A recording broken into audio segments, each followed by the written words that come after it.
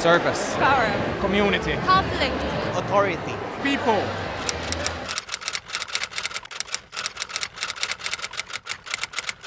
I think politics can really change people's lives. Politics can make the impossible seem possible. It can bring uh, new ideas to the front. It can find solutions to problems that other people might think are impossible to find solutions for.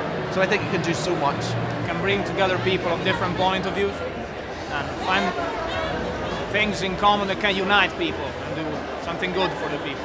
Politics can uh, serve for the development of the people in the sense of coordinating all the functions that the people can do uh, to bring about development.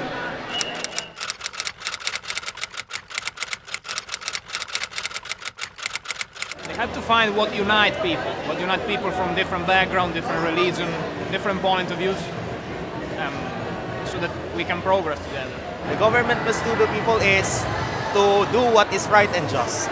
They should improve the people's lives by giving the education and all the support, social, uh, social welfare support. I think governments really need to listen to people first.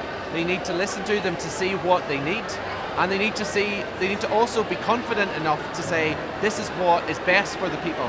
To challenge those people and to really try and get the best out of their people. People need leadership, so the governments are the ones who are trusted by the people to lead the, gov- the, the, the nations.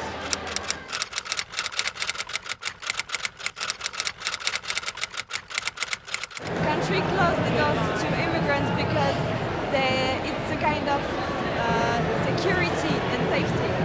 countries close their doors for immigrants because of fear.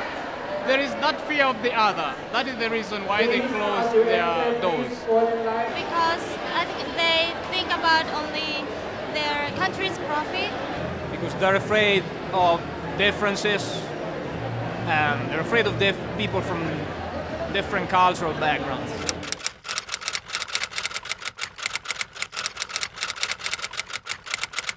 Throughout history, you can see the movements of young people that have really tried to change uh, big problems, that have really pushed to, to bring things forward.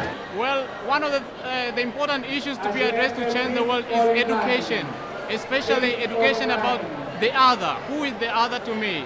The other in the sense of nationality, the other in the sense of culture, and everything of that kind. We have passion. We have passion to uh, to to act something for the better. They are part of the society and they belong to, to the society. In many countries, the larger population are the young people. So if young people are involved, they are the ones who have that best that can give can be given to bring about development. If young people don't actively participate in politics, we have a lot of the problems that happen today that we see across the world.